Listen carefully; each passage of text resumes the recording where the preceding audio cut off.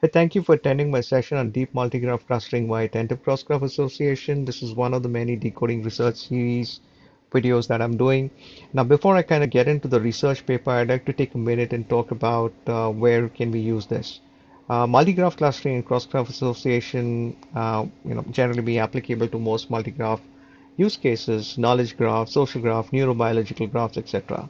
Uh, now, if you've been following the Gartner cycle uh, in the last five, you've seen knowledge graph kind of move very rapidly from innovation trigger to peak inflated expectation. This is what we have since 2021. Uh, some of the knowledge graph use cases that we're seeing is uh, enterprise data governance, research and knowledge discovery, risk, uh, risk exposure, and uh, thematic investing.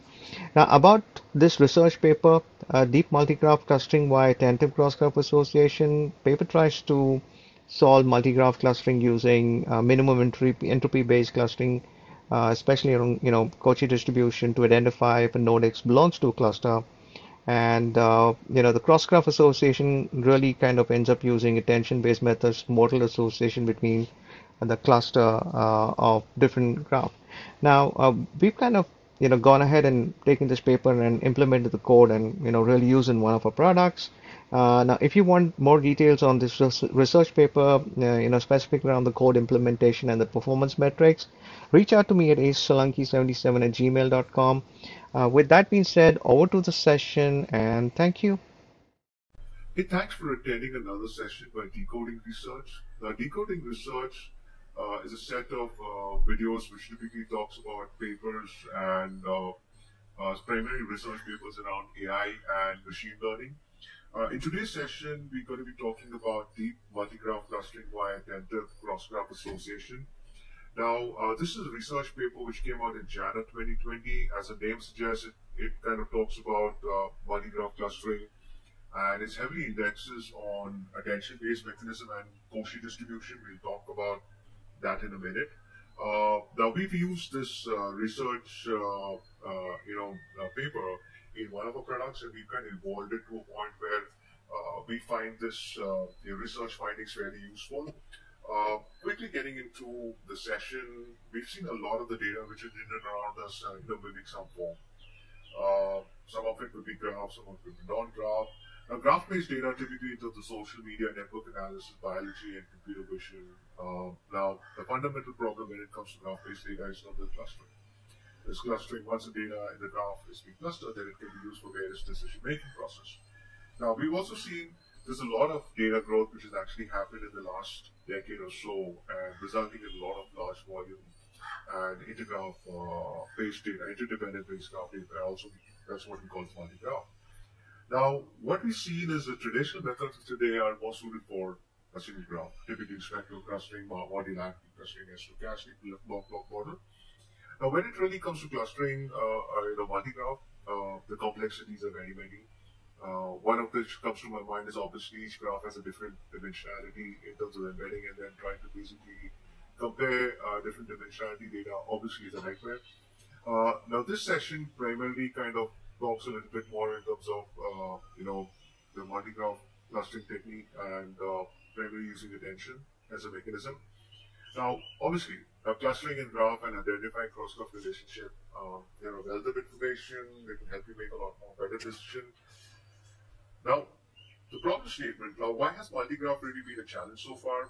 Obviously, graph data is uh, complex, non-linear, underlying, uh, underlying structures, uh, non-linearity of the data needs to be considered while, you know, clustering. the modeling non-linear representation has been a problem so far. Now, obviously, between Jan 2020, and now there are some more papers which actually came out around which primarily talks about uh, multi-graph clustering, different techniques are there which I'm not going to be covering as a part of this session. Uh, now, uh, basically, inter- interdependent graphs will be different topology trees, sparse versus dense. And although intergraph links are available at a node level, but how to correctly infer the hidden cluster association and use them for reinforcing the clustering accuracy. Now, what are we really trying to solve with this paper? So DMGC uh, or deep multi-graph clustering based uh, uh, is based on a deep learning model and your attention based mechanism. That's what I've been telling you all kind of repeated almost three or four times. Now, what does it really do? It proposes a deep learning method to simultaneously infer cluster assignment probably into cluster association. In simpler words, uh, if a node X in the graph belongs to a specific cluster, and if a specific cluster A has association with cluster B, and it's using some deep learning technique. Uh, now, how is it done? Typically starts off the whole process in terms of taking the nonlinear data and pushing it through an auto-encoding architecture uh, to kind of arrive, the data space or slash embedding. At the same time, preserving the first and second order proximity between the nodes. That's typically the uh, the structure or uh, around the either node from a neighborhood standpoint of view continues to remain there because we obviously need that going down the line, right? Once having you know pushed it into a latent space uh, when the embeddings are available, the next thing is to kind of go ahead and pop the cluster. So you arrive at a cluster assignment probability for all nodes, and this is where the Cauchy distribution really plays a major role, and we kind of uh, play around with the minimum entropy uh, that helps do the job. Once having done uh, all that bit of pieces, the next thing is obviously in terms of, uh, okay, now you kind of got your nodes and points which are assigned to a specific cluster. Now the next thing is that you need to obviously find out what's a cross-graph uh, association. So while we do that, uh, you know, the third part of the problem is to kind of go and assign a cross-graph cluster association using an attention-based mechanism. Uh, let's go under the hoods in terms of what's really happening because this is where we're going to talk about the paper, the workings, the mathematics, and we'll also leave the last part in terms of the actual code base. Uh, before we kind of get into, uh, you know, the paper, there's some key concepts which are important from a paper understanding point of view. Uh, so the two two concepts which have been used in the paper pretty heavily. One is the minimum entropy based clustering, now, entropy, as you understand, is a randomness of information process. We've seen the entropy and information gain in terms of decision trees, and it's the same thing out here. In simpler words, higher entropy or randomness means difficult to predict. So when it comes to clustering in relation to class labels, a ground truth or lower entropy implies better clustering. Cauchy distribution, interesting. That's been around for a very long time.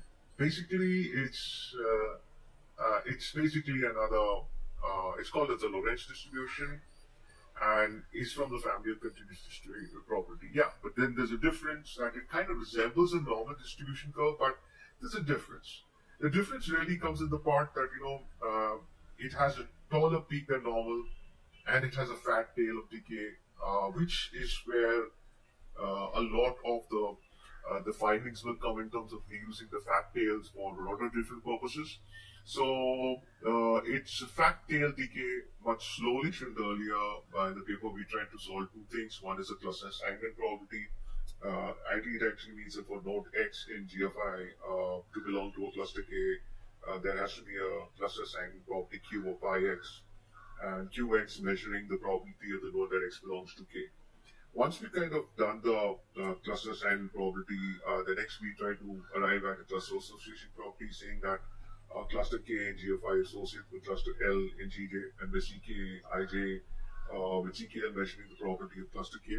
Now, having kind of been very clear on the inputs and what we're trying to get to an output point of view, now let's try to kind of go into the uh, certain assumptions, certain um, the, the, workings. Now, before we get into workings, we're assuming some things. One is obviously we've kind of put the graph through uh, is being transformed. It's kind of gone through the autoencoder and you know is being transformed uh, into this latent embedding. That means uh, each node X in graph GFI uh, has actually uh, been converted to its latent embedding.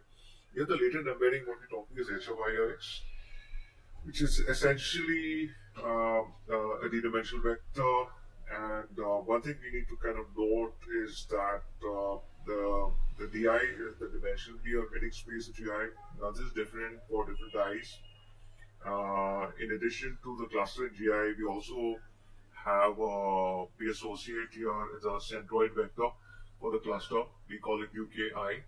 Uh, now, assuming that we have these things, obviously, uh, you know, later we kind of discuss an approach how to learn UKI by an attention-based uh, projection, but I'm going to leave that for later. Now let's kind of focus more on the minimum uh, you know, on how to basically figure out if uh, the node X belongs to the cluster X, which is uh, one of the cluster assignment probability. Now, uh, so basically, we the whole idea of what we're trying to solve out here is that we try to measure the similarity between HFI uh, X and the Tate, uh, the Tate cluster centroid, what uh, we call as UK. Now, for this, we employ the Cauchy distribution of the kernel function. Now, uh, as discussed earlier, comparing Cauchy, you know, Gaussian kernel, a model based uh, on Cauchy is more effective to force um, h of x apart from the centroid uh, UK if x does not belong to cluster K, which actually employs uh, implies a very large boundary.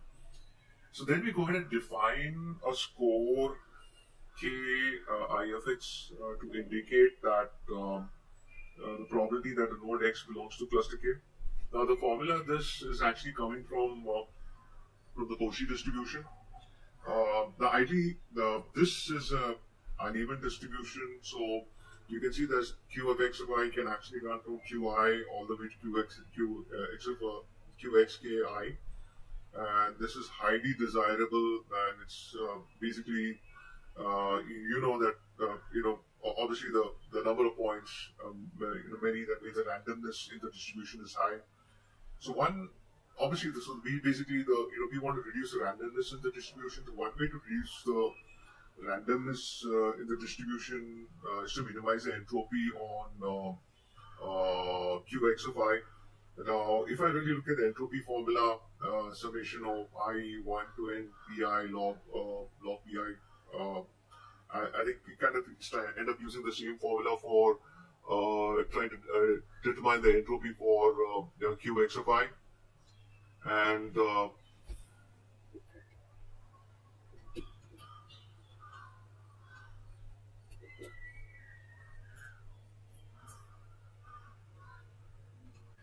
so kind of having worked out the entropy formula, if you really take a good look at the entropy formula, it's in the form of x like log x, which is uh, nothing but the convex uh, non-positive for uh, zero uh, for x greater than zero less than one and we have an equation uh, which is kind of given out here in the form of x, q, and psi, and so on and so on. Now, if you really look at this equation, uh, if this equation, the equality really has to hold out, then qx, uh, which is a one-hot vector, qi of xk has to be equal to 1, indicating. So this kind of indicates that it belongs to cluster Q with a probability of 1. So this becomes our starting equation from cluster assignment probability. But apparently, story doesn't end up there. So now you obviously you have an equation to work with, but then minimizing of the entropy uh, will result into a gradient exploding problem uh, during the training of the gradient descent. So uh, essentially, uh, basically, it, it, kind of gets to a point where uh, where you know where sorry, but qix of k tends to zero, the wall gradient tends to be very very uh, very large, and which will dominate the gradient of the final loss and result in unstable results. Now, now one way to solve the problem would be to go ahead and involve, uh, you know, introduce an inner product loss. And once you introduce inner product loss, you're probably going to get an equation of this sort, and where sig sigma is nothing but a sigmoid function. And so this becomes your final equation for uh, cluster assignment probability. Now, once you've kind of gone ahead and gone ahead a complete iteration of the number of, uh, you know, uh, nodes, uh, and assign them specific clusters. Uh, we have uh, so each cluster has enough number of uh, nodes to kind of go and and arrive at something what we call a soft frequency, which is nothing but an empirical distribution of the cluster. And let's say we you know the we have a soft frequency, so it'll be good to kind of you know apply KL divergence over the soft frequency and, and mu k uh, you know, so and then eventually that's what we, we hit, go ahead and add it to the cluster loss, and that's uh, this is what the final equation really looks like from a loss standpoint of view. Now, uh, the next part is dealing uh, with a lot of proximity constraints. Um, not going to talk too much about the proximity constraints. Uh, so typically, uh, you know, when you look at a specific graph, you, each and every node is going to have neighbor nodes, first order, second order. And there's a, there's a likely chance uh, where if uh, a node is connected to a set of neighbors, those neighbors would eventually be a part of the same cluster as well. So uh, we've kind of gone ahead and derived two more equation for basically the uh, the first uh, order proximity and similarly for the second order proximity. Uh, I'm not going to talk much to it. Uh, at the end, there is uh, a link to the paper and there's a link to my blog which talks more on these proximity constraints. Uh, having said this, now let's move on to the next part where we talk about cross, uh, cross-graph association. Now, cross-graph association is a third piece. So you, we kind of reached a point where uh, we've gone ahead and, uh, you know, assigned the, you know, the, the, the nodes to various clusters. Uh, now, obviously, we need to kind of look at uh, the, the different clusters and see if there's an association between them. So, in this section, uh, what we're going to talk a little bit more about, so what we've developed is essentially an attention-based method to the model, uh, which you know which associates uh, clusters between different graphs. So now, obviously, we talked about uh, cluster UK for cluster K in G of I, and now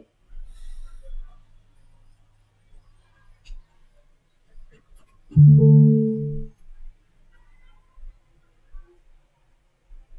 step three is more around cross-graph association property, which is essentially a attention-based method. Earlier on in the session, we talked about UKFI being assumed out. It's time we go ahead and define that. Now, to preserve the autonomy of individual graph, UKFI are defined in different embedding spaces for different GIs and which have different dimensional DI. Uh, this turns out to be a problem when it comes to, when it comes to comparison between centroids of different graph owing to the different dimensionality. Now to solve this problem, uh, we go ahead and define a unified space. This is a unified space for all cluster centroids of all graphs, such that each centroid is represented by a vector zk, uh, which happens to be uh, uniform dimensionality d. And hence, uh, since they have the same dimensionality d, then operations such as comparison become a lot more easier across uh, the two centroids or multiple centroids. Now the question comes in terms of how do we really arrive at UK of I. So if you really look at uh, this diagram closely, uh, let's let's say we have Z1, which happens to be uh, the you know the centroid defined in the unified unified space uh, for cluster one. Okay, and it so turns out uh, U of 1, U11, is essentially a projection of Z11. So in order to generate UQFI in the embedding space, what we do is we perform projection from the unified space to the embedding space by, you know, for uh, of each graph a attention-based uh, single layer fully connected network. So if you really look at Z1, it's kind of connected with, uh, you know, C11, C1121, and so on with multiple other, you know, multiple other, uh, you know, uh, uh, weights. Now, uh, essentially, uh, this basically CK, uh, CKL is attention weight measuring, you know, the association between a cluster centroid K in GI to cluster centroid L in GJ and uh, such that if you really look at this thing closely, so UK of I essentially turns out to be, um, you know, an attention-based equation over a concatenation of all the centroids, okay, multiplied by zk's, uh, that eventually multiplied by zk of i, and the wi, which happens to be weight of uh, the single layered FC, and uh, overall we perform a ReLU operation on top, and that's how we kind of arrive at UK of I. So I think now we kind of can go to a point where we kind of define UK of I. So moving on further, uh, this is what we kind of talked in the previous slide, concatenating of all the centroids for all graphs over GFI, we attention together with ZK, the output UK can capture all the cross dependency at cluster level. Now that uh, this is where the things get start getting interesting. Now the attention weight CKFL, uh, that is the attention weight measuring the association between cluster centroid of K in GI and cluster centroid L in GJ. It turns out we again start using the Cauchy distribution as a kernel to measure, the association. Uh, attention weights are directional by nature. So, for example, C1112 and C112 and exist between cluster 1 and 2. Uh, furthermore, uh, now that we kind of have, uh, you know, the associations between cluster defined, now we kind of get to a point we would want to kind of regularize, uh, you know, the findings so far that we had. So recalling the cluster assignment distribution of node X uh, of graph GI is QX. Now, intuitively, if X is strongly linked to node Y in G of J, then the cluster of X and cluster of Y are linked, uh, likely to be associated. So that is CKL IJ is large, and the two clusters are denoted by KLN and KLN. Now, CKIJ is basically essentially an attention matrix, so scaled entry is C, CKLIJ. And then this intuition applies that two vectors QI and QI CIJ transpose are similar by similar in metrics. Now, generalizing to the relationship in the case where X linked to multiple nodes, um, now let NX I to J be set of nodes where uh, J, you know, nodes in J, G, GJ, which are linked to GI. Now, to penalize this uh, inconsistency in the assignments, uh, following loss function is proposed. So basically, it's qx of i and qx uh, where i tends to j uh, squared, and uh, such that uh, qx i tends to j is kind of given by this equation. And S of x is a weight for intergraph linked dependencies in x of gi and y of gi. Your Q of x is, you know, specified transfer cluster probability of node of x uh, through node of y that belongs to n of x uh, uh, i of j. Furthermore, uh, you know, let S of ij be a matrix with xi the entry in S of x, uh, ij performing a row normalization on uh, to obtain S of ij. So summing up, over all the nodes in the graph, the loss function looks something of this nature. So I, I won't kind of dig too deep into the cross graph regularization again. You could refer to the paper, which kind of talks to more of the detail, but I was kind of more interested in terms of just highlighting the L cross loss, uh, you know, from a cross graph regularization standpoint, you know. Now, moving on further, uh, obviously we need to kind of get to a point of integrating the clustering loss, uh, losses, the proximity losses, the cross graph regularizer into unified objective function because that's you know that's the at the end of the day we you know the find the the loss function has to be applied altogether. Uh, so basically, so it's, it's made of theta, z, and w. Well, uh, LC, alpha, L proximity, and beta, L cross. Alpha, beta are hyperparameters for trade-off between losses. Theta uh, turns out to be theta 1 and theta uh, 2g are the outputs from the auto indicator stand, uh, auto encoder standpoint of view. Z is a, uh, are the cluster centroids. W is the weight for the parameter for attention based centroids. Uh, furthermore, the algorithm, um, you know, this is the algorithm from a deep, uh, you know, multi-graph clustering DMCG style. So in inputs, we we talk about the GNCC matrix, number of clusters, cross-graph relationship if it exists, alpha and beta. The output is cluster assignments, cluster associations, and we initialize, uh, you know, theta, W cluster centroids, and Z, and, and we kind of go ahead not convergence too. We compute, compute QI, that's the first step, you know, if you kind of go back to step one. We compute CI, CI of J, um, and then compute the loss, and then we update these parameters uh, using Adam, and then uh, kind of return, uh, you know, uh, QI, uh, basically, which is nothing but the cluster assignment with cluster association. Uh, furthermore, um, you know, let's get into the code. So we talked about step zero, you know, that's where the inputs, uh, which kind of talked to the previous slide. Step one is to feed the graph data to auto-encoding components which have the node, node embedding while preserving the proximity between the nodes, and this is what we call the representation learning. Step two is more around deriving the similarity probability for each node, uh, embedding the graph clusters in which kind of decide the node belongs to the cluster. This is where the Cauchy distribution comes in. So basically, it's a node assignment here. Step three is the cluster association probability with respect to other clusters of cross-graph linkages. Now, this is where the attention mechanism comes together. Now, considering this is a deep learning method uh, model, it has to be trained with a joint loss function, which we kind of talk to right at the end in the cluster and the attention weight. That's the regulation should be. Now that being said, this is the GitHub code link, uh, which you can find the, the working code for this. Uh, that's it now. Thank you very much for comments and suggestion. Reach out to me at asolangi77 at gmail.com. Thank you.